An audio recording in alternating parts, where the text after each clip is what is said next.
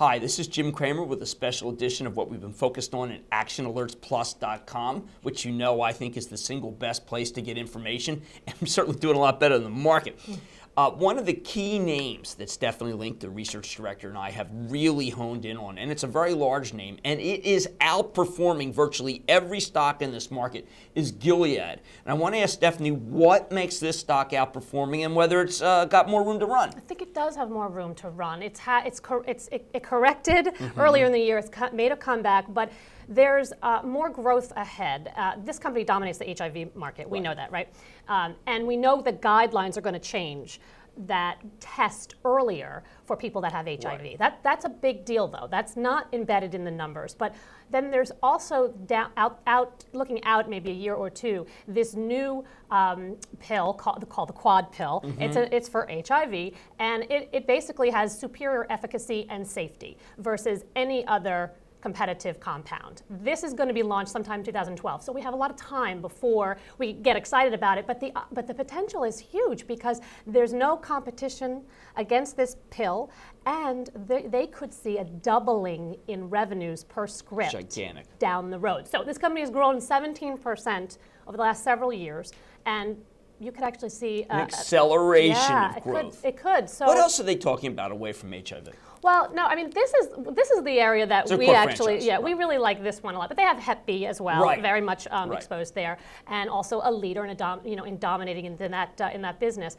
But um, I think at the end of the day, you know, biotech you're looking for large cap. We're looking for large cap biotech stocks that have consistently grown and this one and Celgene are name are two names right. that we actually that have higher than average growth. They're huge companies. They right. have great balance sheets, a lot of cash, north of two billion in cash, and you know that's something that we think that investors are starting to understand. Right. It, it, it's really amazing to me that a Merck or a Lilly, I mean Lilly just did one of these acquisitions.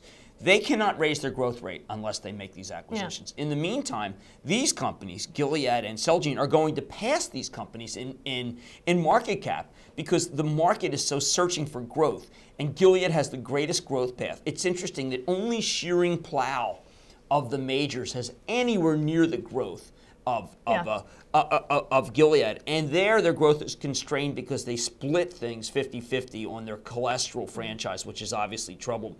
Uh, Gilead is, is the number one play on Obama because yeah. that is because he has uh, broken the stranglehold of the Republicans who don't want uh, AIDS to be something that is uh, back, you know, AIDS treatment to be back because they think it encourages um, uh, you know, encourages us a not safe sex, which is really, you know, a very puritanical way to approach it. That is not Obama's approach. No, absolutely not. And you know, at the end of the day, the stock will, as it, if you look at the valuation, it trades at a premium to the group. It should. It right. has delivered. The management is one of the best in the industries. So you know, this is a name that we've held on. Um, right. and, and, we've been dead right. And I appreciate what you've been doing on it because at various times I said, well, listen, you know, let's take some gain, let's take some gain, but we're letting it ride because that's what you should do. You should let winners ride and coal losers. Thank you, Stephanie. Thanks.